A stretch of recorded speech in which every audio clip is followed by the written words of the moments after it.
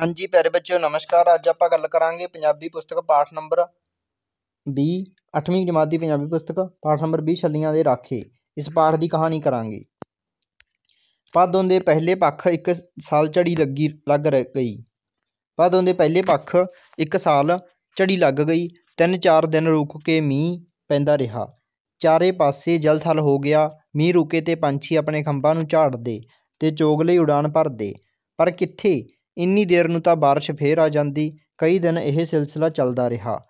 ਅਸੀਂ ਚੱਲਦੇ ਪਾਣੀ ਵਿੱਚ ਮੱਝੀਆਂ ਡਾਹ ਕੇ ਪਸ਼ੂਆਂ ਲਈ ਹਰਾ ਚਾਰਾ ਵੱਢਦੇ ਜੇ ਪਸ਼ੂ ਚਰਨ ਲਈ ਬਾਹਰ ਛੱਡ, ਛੱਡੇ ਜਾਂਦੇ, ਤਾਂ ਉਹਨਾਂ ਦੇ ਚਰਨ ਵਾਲਾ ਨਿੱਕਾ ਨਿੱਕਾ ਘਾਹ ਪਾਣੀ 'ਚ ਨਜ਼ਰ ਹੀ ਨਹੀਂ ਸੀ ਆਉਂਦਾ। ਉਧਰ ਮੱਕੀ ਵਾਲੇ ਖੇਤ ਵਿੱਚ ਛੱਲੀਆਂ ਨੂੰ ਦਾਣਾ ਪੈ ਗਿਆ। ਜਿੰਨੀ ਕੁ ਦੇਰ ਮੀਂਹ ਰੁਕਿਆ ਰਹਿੰਦਾ, ਨਾਲ ਦੇ ਰੁੱਖਾਂ ਤੋਂ ਕਾਂ ਤੋਤੇ ਤੇ ਹੋਰ ਪੰਛੀ ਹੱਲੇ ਕਰ ਕਰਕੇ ਆਉਂਦੇ। ਤੇ ਛੱਲੀਆਂ ਦੀ ਫਰੋਲਾ ਫਰਾਲੀ ਕਰਦੇ। ਮੈਨੂੰ ਤੇ ਤਾਏ ਈਸਰ ਸਿੰਘ ਨੂੰ ਛੱਲੀਆਂ ਦੀ ਰਾਖੀ ਬੈਠਣਾ ਪੈਂਦਾ। ਰੌਲਾ ਗੌਲਾ ਕੀਤਿਆਂ ਪੰਛੀ ਖੇਤ ਵਿੱਚੋਂ ਉੱਡ ਤਾਂ ਜਾਂਦੇ, ਪਰ ਅੱਖ ਦੇ ਫੋਰ ਵਿੱਚ ਛੱਲੀਆਂ ਨੂੰ ਫੇਰ ਆ ਪੈਂਦੇ। ਤਾਇਆ ਖਾਲੀ ਪੀਪਾ ਖੜਕਾਈ ਜਾਂਦਾ, ਹੜਾਤ ਹੜਾਤ ਕਰਦਿਆਂ ਸਾਡੇ ਸੰਗ ਪਾਟਣ ਨੂੰ ਹੋ ਗਏ।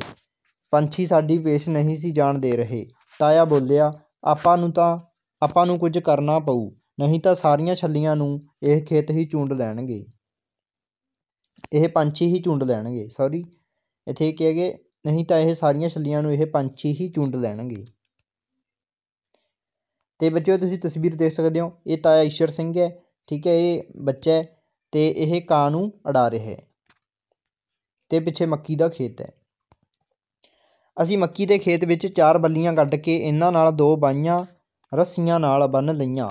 ਇਹਨਾਂ ਬਾਈਆਂ ਉੱਤੇ ਛੋਟਾ ਜਿਹਾ ਮੰਜਾ ਟਿਕਾ ਦਿੱਤਾ। ਇਸ ਤਰ੍ਹਾਂ ਅਸੀਂ ਮੱਕੀ ਦੇ ਖੇਤ ਦੀ ਨਿਗਰਾਨੀ ਲਈ ਉੱਚਾ ਮਣਾ ਬਣਾ ਲਿਆ।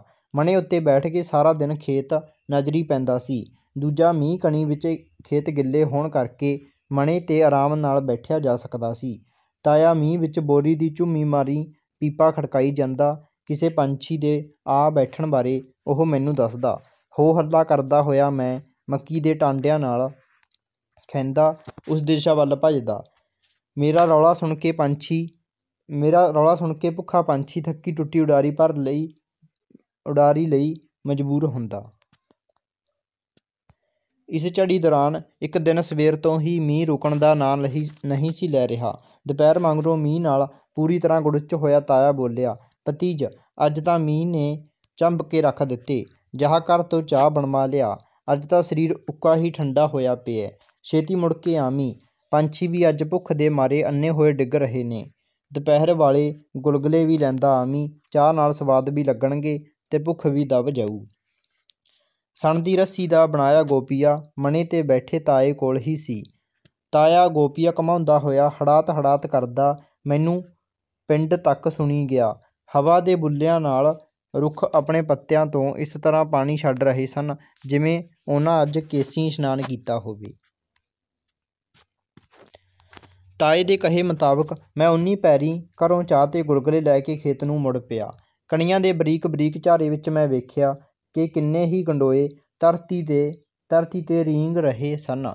ਗੰਡੋਇਆਂ ਤੇ ਪੈਰ ਧਰਨ ਤੋਂ ਗੁਰੇਜ਼ ਕਰਦਾ ਹੋਇਆ ਮੈਂ ਕਦੀ ਲੰਮੀ ਤੇ ਕਦੀ ਛੋਟੀ ਡਿੰਗ ਭਰਦਾ ਖੇਤ ਵੱਲ ਨੂੰ ਤੁਰਦਾ ਗਿਆ। ਫਿਰਨੀ ਤੋਂ ਖੇਤ ਵੱਲ ਮੁੜਦਿਆਂ ਜਦੋਂ ਮੈਂ ਮੱਕੀ ਦੇ ਖੇਤ ਦੀ ਵੱਟ ਤੋਂ ਲੰਘ ਰਿਹਾ ਸੀ ਤਾਂ ਅਣਦੇਖੀ ਕਾਰਨ ਮੇਰਾ ਪੈਰ ਵੱਟ ਤੇ ਪਏ ਇੱਕ ਸੱਪ ਤੇ ਜਾ ਟਿਕਿਆ। ਮੈਂ ਡਰ ਗਿਆ, ਪਰ ਉਸਨੇ ਮੈਨੂੰ ਕੁਝ ਨਾ ਕਿਹਾ। ਸਗੋਂ ਤਾਂ ਟਿਕਟਿਕੀ ਲਾ ਕੇ ਬੈਠਾ, ਟਿਕਟਿਕੀ ਲਾ ਕੇ ਵੱਟ 'ਚ ਖੁੱਡ ਪੁੱਟ ਰਹੇ ਇੱਕ ਚੂਹੇ, ਪੁੱਟ ਰਹੇ ਚੂਹੇ ਵੱਲ ਵੇਖ ਰਿਹਾ ਸੀ। ਸੱਪ ਵੀ ਭੁੱਖਾ ਲੱਗਦਾ ਸੀ। ਮੈਂ ਸੱਪ ਨੂੰ ਨਾ ਮਾਰਿਆ, ਕਿਉਂਕਿ ਉਸਨੇ ਮੈਨੂੰ ਕੁਝ ਨਹੀਂ ਸੀ ਕਿਹਾ। ਚੂਹੇ ਨੂੰ ਮਾਰਨ ਵਿੱਚ ਰੁੱਝਿਆ ਸੱਪ ਮੈਨੂੰ ਮੇਰੀ ਮਦਦ ਕਰਦਾ ਪ੍ਰਤੀਤ ਹੋਇਆ। ਚੂਹੇ ਵੀ ਮੱਕੀ ਦੇ ਟਾਂਡਿਆਂ ਤੇ ਚੜ੍ਹ ਕੇ ਆਪਣੇ ਤਿੱਖੇ ਦੰਦਾਂ ਨਾਲ ਛੱਲੀਆਂ ਦਾ ਨੁਕਸਾਨ ਕਰ ਜਾਂਦੇ ਹਨ। ਮਨ 'ਚ ਅਜਿਹੇ ਖਿਆਲੀ ਮੈਂ ਮਣੇ ਵੱਲ ਨੂੰ ਹੋ ਤੁਰਿਆ। ਮੈਂ ਚਾਹ ਦੀ ਕੇਤਲੀ ਤੇ ਗੁਲਗੁਲੇ ਮਣੇ ਤੇ ਬੈਠੇ ਤਾਏ ਨੂੰ ਫੜਾ ਦਿੱਤੇ। ਤਾਇਆ ਚਾਹ ਤੇ ਗੁਲਗੁਲਿਆਂ ਦਾ ਆਨੰਦ ਲੈਣ ਲੱਗਾ। ਸਾਹਮਣੇ ਰੁੱਖਾਂ ਤੇ ਬੈਠੇ ਪੰਛੀਆਂ ਦਾ ਧਿਆਨ ਸਾਡੇ ਵਿੱਚ ਹੀ ਸੀ। ਮੈਨੂੰ ਜਾਪਿਆ ਜਿਵੇਂ ਉਹ ਮਨੋ ਮਨੀ ਸਾਨੂੰ ਕੋਸ ਰਹੇ ਸਨ ਕਿ ਰਾਖੇ ਆਪ ਤਾਂ ਖਾ ਪੀ ਰਹੇ ਨੇ ਤੇ ਸਾਨੂੰ ਇੱਕ ਦਾਣਾ ਵੀ ਨਹੀਂ ਠੁੰਗਣ ਦਿੰਦੇ। ਭੁੱਖ ਨਾਲ ਲਾਚਾਰ ਹੋਇਆ ਇੱਕ ਕਾਂ ਸਾਹਮਣੀ ਕਿੱਕਰ ਤੋਂ ਸਾਹਮਣੀ ਕਿੱਕਰ ਤੋਂ ਉੱਡਿਆ। ਸਾਡੇ ਰੌਲੇ ਰੱਪੇ ਦੌਰਾਨ ਉਹ ਬਿਨਾਂ ਖੰਭ ਹਿਲਾਏ ਮੱਕੀ 'ਤੇ ਏਦਾਂ ਡਿੱਗਿਆ ਜਿਵੇਂ ਉਸ ਵਿੱਚ ਸਾਹ ਸੱਤ ਹੀ ਨਾ ਹੋਵੇ। ਰੌਲਾ ਪਾਏ ਤੋਂ ਵੀ ਉਹ ਨਾ ਉੱਡਿਆ। ਮੈਂ ਵੇਖਿਆ ਉਹ ਛੱਲੀ ਤੇ ਟਾਂਡੇ ਦੇ ਵਿਚਕਾਰ ਪਹੁੰਚੇ ਡਾਈ ਬੈਠਾ ਸੀ। ਕਈ ਦਿਨਾਂ ਦੀ ਭੁੱਖ ਦੀ ਕਮਜ਼ੋਰੀ ਕਾਰਨ ਉਸ ਵਿੱਚ ਛੱਲੀ ਨੂੰ ਛਿੱਲਣ ਦੀ ਹਿੰਮਤ ਵੀ ਨਹੀਂ ਸੀ। ਮੈਂ ਉਸਦੇ ਨੇੜੇ ਗਿਆ ਪਰ ਉਹ ਨਾ ਉੱਡਿਆ ਤੇ ਨਾ ਹੀ ਡਰਿਆ। ਕਾਂ ਦੀ ਹਾਲਤ ਸਮਝਣ ਲੱਗੇ ਮੈਨੂੰ ਦੇਰ ਨਾ ਲੱਗੀ। ਮੈਂ ਸੋਚਿਆ ਕਿ ਭੁੱਖੇ ਤੇ ਬੇਵਸ ਹੋਏ ਕਾਂ ਨੂੰ ਮਾਰਨਾ ਨਹੀਂ ਚਾਹੀਦਾ, ਕਿਉਂਕਿ ਉਸਨੇ ਛੱਲੀ ਵੀ ਨਹੀਂ ਸੀ ਠੂੰਗੀ ਤੇ ਉਹ ਮੇਰਾ ਚੋਰ ਵੀ ਨਹੀਂ ਸੀ। ਮੈਨੂੰ ਇਹ ਅਹਿਸਾਸ ਹੋਇਆ ਕਿ ਜੇ ਮੈਂ, ਜੇ ਮੈਨੂੰ ਸੱਪ ਨੇ ਡੰਗਿਆ ਹੁੰਦਾ ਤਾਂ ਕੀ ਮੈਂ ਕਾਂ ਨੂੰ ਮਾਰ ਸਕਦਾ? ਤਾਇਆ ਭਾਵੇਂ ਕਈ ਦਿਨਾਂ ਤੋਂ ਕਿਸੇ ਕਾਂ ਨੂੰ ਮਾਰਨ ਦੀ ਤਾਕ ਵਿੱਚ ਸੀ, ਤਾਂ ਜੋ ਉਹ ਮਰੇ ਕਾਂ ਨੂੰ ਮਣੇ 'ਤੇ ਟੰਗ ਕੇ ਬਾਕੀਆਂ ਦੇ ਪੰਛੀਆਂ ਨੂੰ ਡਰਾ ਸਕੇ। ਅਜਿਹੇ ਹਾਲਾਤ ਵਿੱਚ ਮੈਂ ਕਾਂ ਨੂੰ ਮਾਰ ਕੇ ਤਾਏ ਦੀਆਂ ਨਜ਼ਰਾਂ ਵਿੱਚ ਤਾਂ ਚੰਗਾ ਬਣ ਸਕਦਾ ਸੀ, ਪਰ ਆਪਣੀਆਂ ਨਜ਼ਰਾਂ ਵਿੱਚ ਨਹੀਂ। ਉਦੋਂ ਮੈਨੂੰ ਆਪਣੇ ਪਿੰਡ ਤੇ, ਪਿੰਡੇ 'ਤੇ ਹੰਢਾਏ, ਭੁੱਖ ਤੇ ਤਿਹਾਕੜੇ ਵੀ ਯਾਦ ਆਏ, ਜਦੋਂ ਮੈਂ ਡੰਗਰ ਚਾਰਦਾ ਹੁੰਦਾ ਸੀ। ਮੈਂ ਤਾਏ ਤੋਂ ਅੱਖ ਬਚਾ ਕੇ ਇੱਕ ਛੱਲੀ ਭੁੰਨੀ, ਭੰਨੀ, ਉਸਦੇ ਦਾਣੇ ਭੋਰ-ਭੋਰ ਕੇ ਥੇਲੀ 'ਤੇ ਰੱਖ ਕੇ ਉਸ ਕਾਂ ਨੂੰ ਖਵਾਉਣ ਲੱਗਾ। ਕਾਂ ਮੇਰੇ ਹੱਥ ਦੀ ਤਲੀ ਤੋਂ ਦਾਣਾ ਚੁੱਕਦਾ, ਮੇਰੇ ਵੱਲ ਤੱਕਦਾ ਅਤੇ ਸਿਰ ਸਿਰ ਨੀਵਾਂ ਕਰ ਲੈਂਦਾ। ਮੈਂ ਇੱਕ ਪਲ ਸੋਚਿਆ ਕਿ ਜਦੋਂ ਮੈਂ ਨਿੱਕੇ ਹੁੰਦਿਆਂ ਆਪ ਕੁਝ ਨਹੀਂ ਸੀ ਖਾ ਸਕਦਾ ਹੋਵਾਂਗਾ, ਤਾਂ ਮੇਰੀ ਮਾਂ ਮੈਨੂੰ ਇਸ ਤਰ੍ਹਾਂ ਖਵਾਉਂਦੀ ਹੋਵੇਗੀ। ਪੇਟ ਦੀ ਭੁੱਖ ਮਿਟਾ ਕੇ ਕਾਂ ਉੱਡਣ ਦੇ ਸਮਰੱਥ ਹੋ ਗਿਆ। ਉਸਨੇ ਹੋਰ ਛੱਲੀਆਂ ਨਾ ਫਰੋਲੀਆਂ ਤੇ ਉਹ ਕਿੱਕਰ ਦੇ ਰੁੱਖ ਵੱਲ ਉਡਾਰੀ ਮਾਰ ਗਿਆ। ਬੱਦਲ ਗਰਜ ਰਿਹਾ ਸੀ ਤੇ ਤਾਇਆ ਹਲੇ ਵੀ ਪੰਛੀਆਂ ਨੂੰ ਡਰਾਉਣ ਲਈ ਹੜਾਤ ਹੜਾਤ ਕਰ ਰਿਹਾ ਸੀ। ਤਾਂ ਬੱਚੋ, ਇਹ ਪਾਠ ਹੈ ਜਿਹੜਾ ਬਹੁਤ ਸੋਹਣਾ ਹੈ ਤੇ ਇਹ ਇੱਕ ਛੱਲੀਆਂ ਦੇ ਰਾਖਿਆਂ ਬਾਰੇ ਹੈ, ਠੀਕ ਹੈ, ਉਹ ਪੰਛੀਆਂ ਨੂੰ ਉਡਾਉਂਦੇ ਨੇ ਤੇ ਇਸ ਪਾਠ ਦੀ ਜਿਹੜੀ ਕਹਾਣੀ ਹੈ, ਇਹ ਤੁਸੀਂ ਚੰਗੀ ਤਰ੍ਹਾਂ ਸਮਝਣੀ ਹੈ ਪ੍ਰਸ਼ਨ ਉੱਤਰ ਕਰਨ ਦੀ ਕੋਸ਼ਿਸ਼ ਕਰਨੀ ਹੈ ਤੇ ਅਗਲੀ ਵੀਡੀਓ ਤੁਹਾਡੇ ਲਈ ਜਲਦ ਲੈ ਕੇ ਹਾਜ਼ਰ ਹੋਵਾਂਗੇ। ਧੰਨਵਾਦ।